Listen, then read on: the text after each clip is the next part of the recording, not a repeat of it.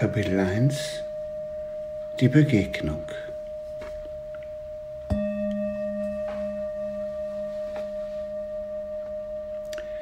Als ich an diesem Morgen die Augen aufschlug, wusste ich, dass der Tag anders sein würde. Der Morgen war hell, ich empfand ihn wie Glas. Er fühlte sich kühl an, klar und durchsichtig. Ich hatte das Gefühl, ich könne den Inhalt dieses Morgens sehen, ohne ihn zu erkennen. Ich stand auf wie immer. Ich wusch mich, prüfte vor dem Spiegel meinen Bart und erschloss mich zu einer Rasur. Dann kleidete ich mich an und hatte dabei das Gefühl, als wäre meine Kleidung heute etwas Besonderes. Ich setzte Wasser auf für meinen Kaffee und öffnete ein Fenster, um endlich den neuen Tag hereinzulassen. Und er kam herein. Wie betäubt blieb ich am offenen Fenster stehen und nahm die Atmosphäre in mich auf. Nach wenigen Augenblicken musste ich mich plötzlich abwenden. Ich glaubte, es einfach nicht ertragen zu können. Was konnte ich nicht ertragen? Was war heute anders? Diese Frage stellte ich mir selbst, und ohne nachzudenken fiel mir sofort die Antwort ein. Das beinahe unerträglich intensive Gefühl zu leben. Noch niemals hatte ich so sehr gefühlt, dass ich lebe. Ich versuchte es abzuschütteln und wandte mich um. In diesem Augenblick merkte ich zum ersten Mal, dass mit der Zeit etwas nicht stimmte. Das Wasser war schon beinahe verkocht, obwohl ich nur kurz am Fenster gestanden war.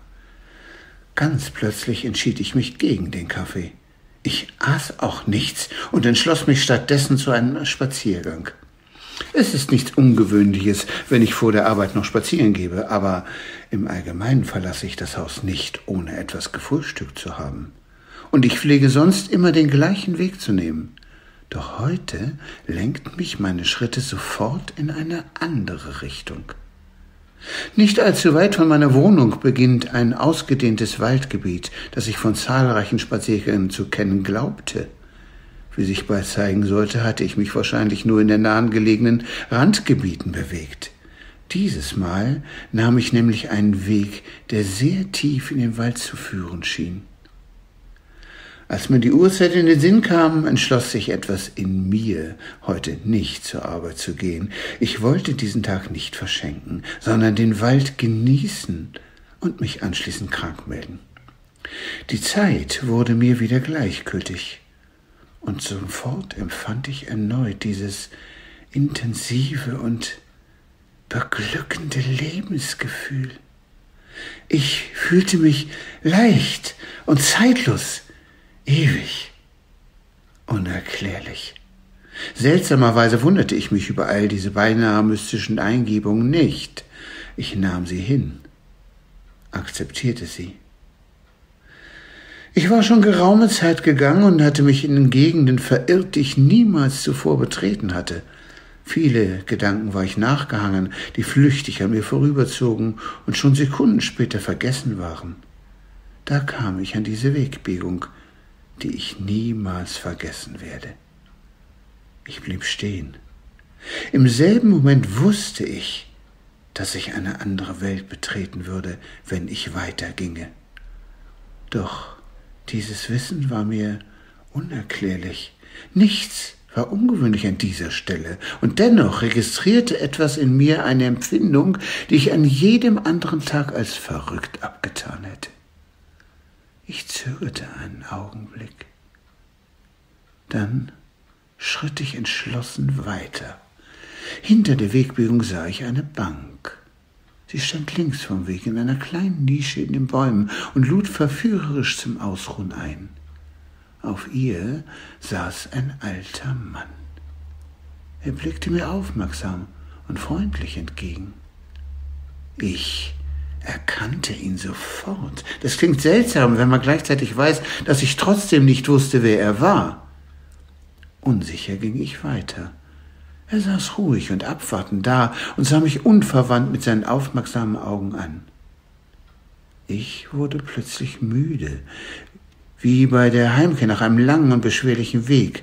Ohne ein Wort setzte ich mich neben ihn. Langsam wandte er sich mir zu und sagte, ich freue mich, dass du gekommen bist. Eigentlich hätte ich jetzt erschrecken müssen, aber im Grunde hatte ich auf so etwas gewartet. Ich blickte ihn an und versuchte meine Fassung zu bewahren. Sie haben auf mich gewartet, sagte ich dann. Er nickte. Ich kenne Sie, redete ich weiter, um meine Unsicherheit zu verbergen, aber ich kann mich nicht mehr erinnern. Er streckte mir seine Hand entgegen und sagte, ich bin Johannes. Ich ergriff seine Hand und spürte einen kräftigen und warmherzigen Händedruck. Gut, Johannes, ich heiße Klaus. Er unterbrach mich. Ich kenne deinen Namen. Wichtiger ist, wer du bist. Ich war verwirrt. Zunächst einmal kam ich mit der Anrede nicht zurecht. Schon immer hatte ich Schwierigkeiten, wenn ich ältere Menschen mit dem Vornamen anreden sollte. Und was mich noch mehr verwirrte, woher kannte Johannes mich? Warum hat er anscheinend auf mich gewartet? Ich äh, weiß nicht, begann ich zu stottern. Mir kommt das alles so seltsam vor. Woher wissen Sie, wer ich bin? Der alte Mann lächelte beinahe belustigt vor sich hin.